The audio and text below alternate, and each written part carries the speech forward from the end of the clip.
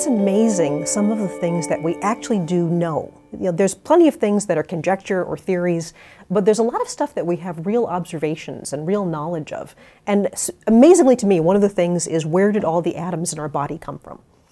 And it is actually a real fact, not a theory, that when you look back at how the universe looked about, say, say 13 billion years ago, the chemistry was very, very different. We can actually see so far away out into space that the light we're looking at took billions and billions of years to get to us, even at the speed of light.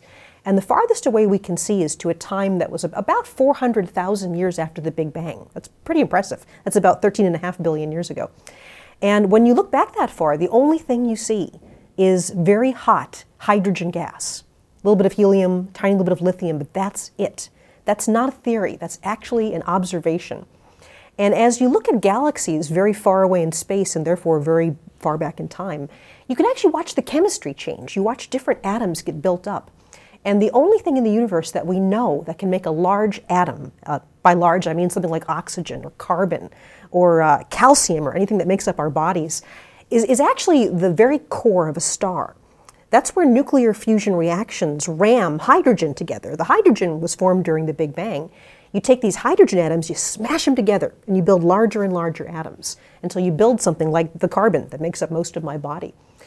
And so we've known for a while that the only way you get these large atoms is stars. But even with something as powerful as the core of a star, there were some atoms that were a little bit more slippery. We, we couldn't quite figure out how you get the energy needed to make something really big like a gold atom.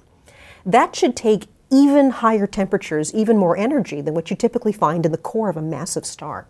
So what, what is even more violent than an exploding massive star, which makes a lot of the heavy elements in the universe? Um, one of the things we discovered recently is that two dead cores of stars called neutron stars can actually spiral together and collide. And when they collide, instead of a normal death of an exploding star, you basically have something like that on steroids. You have an explosion that's so big and so violent, people have really seen nothing like it since the Big Bang. Uh, they call this, uh, sometimes they call it a hypernova, sometimes they call it a gamma ray burst because of the burst of high energy radiation that comes out.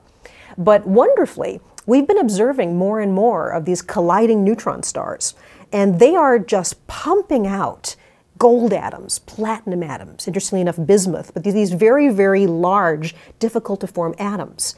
And there's so much gold created in one of these explosions that if you just look at the rate, you know, how many of these explosions do we observe?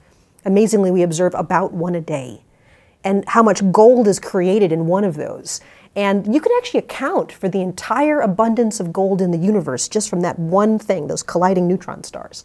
So the gold you have, I mean, yeah, you have gold in your jewelry. That's really cool. I've got a gold ring. But interestingly enough, our neurons don't work without a tiny little bit of gold to help our brain actually charge the neurons in our brain. We need a little bit of gold and a little bit of copper. So your brain wouldn't work without a little bit of gold, a couple gold atoms in the neurons. So the reason we're here thinking and moving and actually existing the way we do is intimately connected to these colliding dead stars, these colliding neutron stars that most likely created all of the gold in this room.